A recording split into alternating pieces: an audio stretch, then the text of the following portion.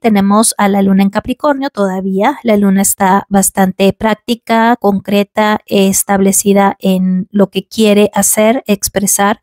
Una luna en Capricornio nos pone los pies en la tierra, nos pone a pensar de manera lógica, concreta, práctica, estructurada. Tenemos disciplina, entonces la energía de organización y estructura está a nuestro favor, por lo, por lo tanto es una semana en donde podemos eh, disciplinar al cuerpo. ¿Para qué? Para prepararnos para el lunes, el 8 de abril del eclipse solar en Aries. Por lo tanto, duerme bien, come bien, eh, prepárate una dieta desintoxicante.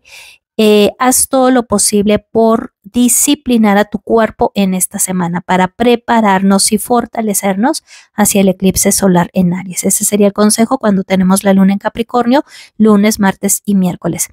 Y esta luna capricorniana está haciendo trino a Júpiter y Urano en Tauro. Por lo tanto, es un buen martes para tocar temas financieros.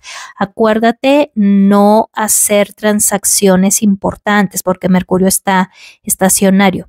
Así es que es un buen momento para apalabrar un tema económico, para reunirte con un socio, para ver cómo están los asuntos financieros, pero espérate hasta la siguiente semana para cerrar un proyecto. Esta luna, haciendo buen aspecto a Júpiter, Urano, nos está indicando que son ideas creativas, ideas innovadoras. Estamos bastante dirigidos, concretos, prácticos en lo que queremos y cómo lo queremos en el ámbito económico. Así es que estamos muy lúcidos para proyectar hacia el futuro económico o para organizar algún gasto o alguna inversión. No lo cierres hasta la siguiente semana. Y tenemos a la luna en Capricornio haciendo sextil a Venus y Neptuno en Pisces. Es un martes romántico, sensible, eh, intuitivo, es un martes como para ayudar a personas necesitadas, personas en desgracia.